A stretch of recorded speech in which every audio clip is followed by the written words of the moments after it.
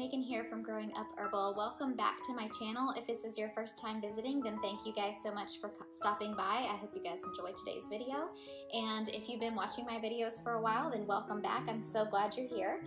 Today I'm going to show you how I make sore throat pastilles using herbal powders and raw honey.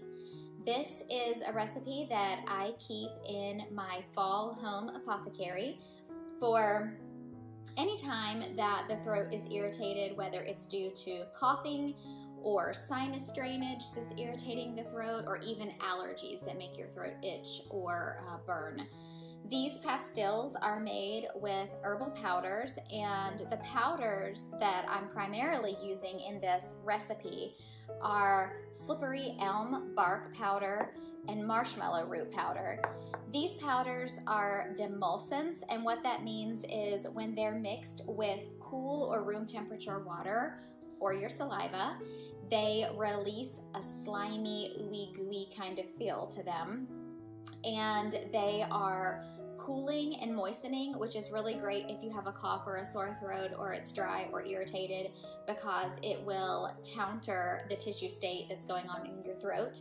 So if your throat um, is hot and very dry feeling, then this cool moistening properties of these two herbs are gonna feel really nice on your throat. Now, um, I'm also using a little bit of cinnamon powder in my pastilles. I love the taste of cinnamon. The the slippery elm root and or the slippery elm bark and the marshmallow root, they taste okay, but I like to put some cinnamon powder in to give it some flavor. I actually coat the pastilles in cinnamon when I'm done. And cinnamon, when it's mixed with cool or room temperature water, actually also has a little bit of a demulcent property. So all of these herbs together are a really great combination for your sore throat.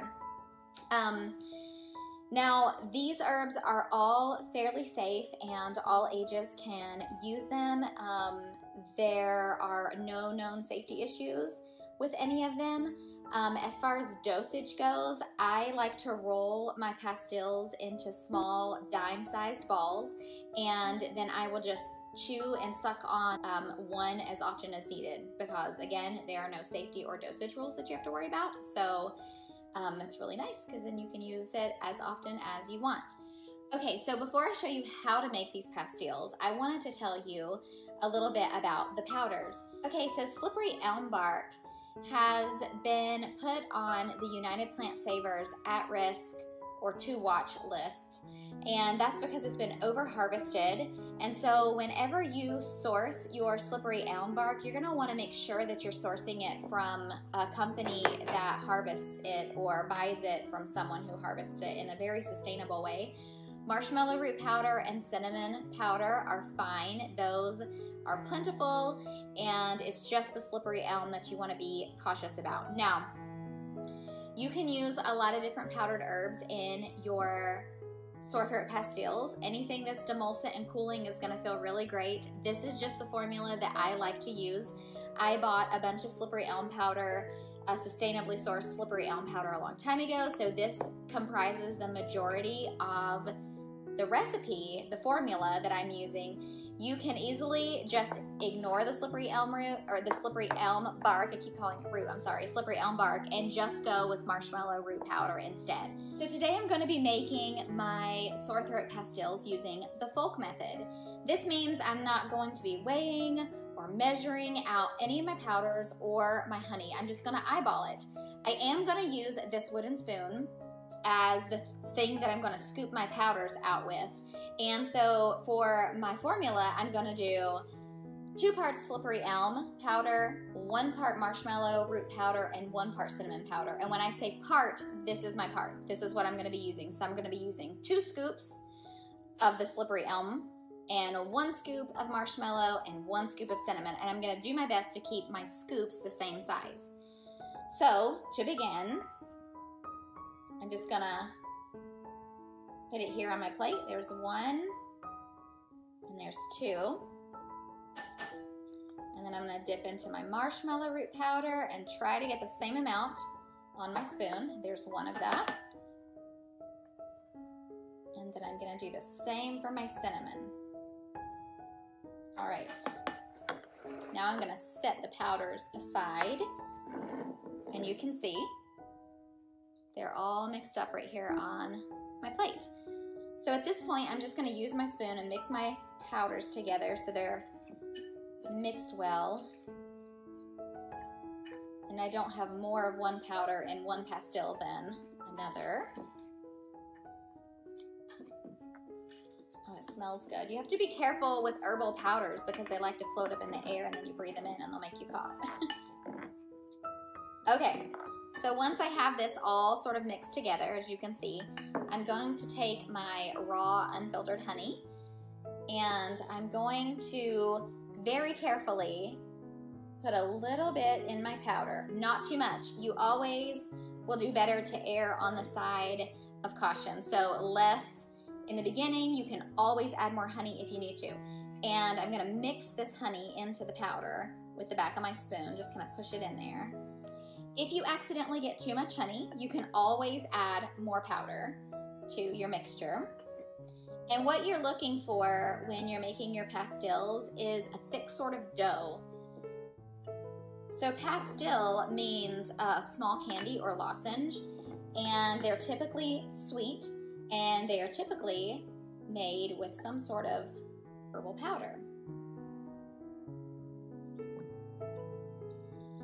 And you're not wanting them to be too gooey. You want to be able to roll the dough into a ball and have it hold its shape. You don't want it to sit down on your bowl or your plate and have it like kind of melt. That means it's too runny and you need to add more of your herbal powders to that mixture. Now, if you were making a large batch of these, you could put these in like um, a KitchenAid mixer and put your dough hook on and you could blend it, mix it up together like that. I usually only make small batches. This is a very small batch because I have some already. Oh, it smells so good. So I'm gonna keep adding honey and I'm gonna keep mixing until I have my dough ready and I'll show you guys what that looks like then. Okay, so as you can see, I have my dough all mixed together and got a little bit over here. You can see how it's really thick looking. It's sticking to the back of the spoon. It's not dripping with honey. There's not really any powder left there. So this, I can test it by putting a little bit together and rolling it in my hands. And it stays formed. It's not sinking and like flattening out in my hand. It stays nice and in a ball. So I like to roll my pastilles into dime-sized balls, just nice and small kind of balls there. And you can even take your cinnamon powder, drop your pastille in it, and kind of roll it around a little take it out and roll it in your hands and that'll give it a nice little cinnamon coating and then you can set it aside. So I'm going to take some time to roll these out, coat them in cinnamon, and I'll show you the finished product.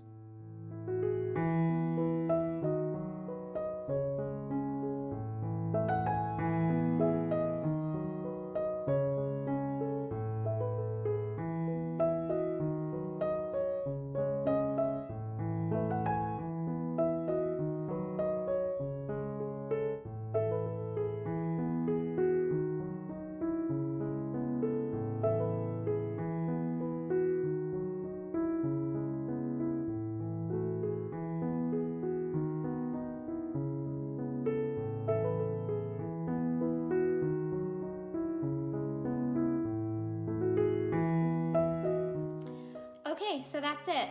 Pastilles, they're that simple. Mixing herbal powders and some raw honey together, rolling them out into small shaped balls, and then you can just let these sit out and dry at room temperature. They'll get a little bit harder. You can also put them on a piece of parchment paper and put them in your freezer and let them freeze. And then you can put them in like an airtight container, like a glass storage jar with a lid. You wanna make sure you label it so you know what they are and um, then you can put them in your home apothecary or let them sit somewhere where you'll remember where they are and you can use them the next time you have a sore throat. Just pop one in your mouth, suck on it, or chew it up. It's totally up to you. They're really yummy. Um, you can make pastilles for all sorts of things. This is a really great way to take herbal powders. This is a great way for kids to take herbs. I love using herbal powders and making um, what I call vitamin balls, um, but they are made with really nutrient rich herbs. And I also have um, a recipe on my blog for spring tonic pastilles that are made with spring tonic like herbs and mixed with a little bit of raw honey. And I'll link to that in the description box below.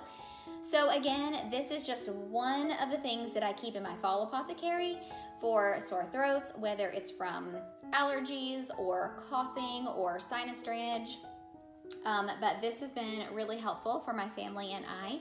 And I hope you guys watching me make these um, have realized just how easy this is and how simple and that you can do it too and you can keep these on hand in your home apothecary if you need them the next time you have a sore throat. So I hope you guys enjoyed this video. If you did, please give it a thumbs up and subscribe to my channel if you haven't already. If you have any questions or comments about anything you've heard in this video, feel free to leave me a comment below and I will get back to you. And I hope you guys have a great rest of the day and I will talk to you soon. Bye.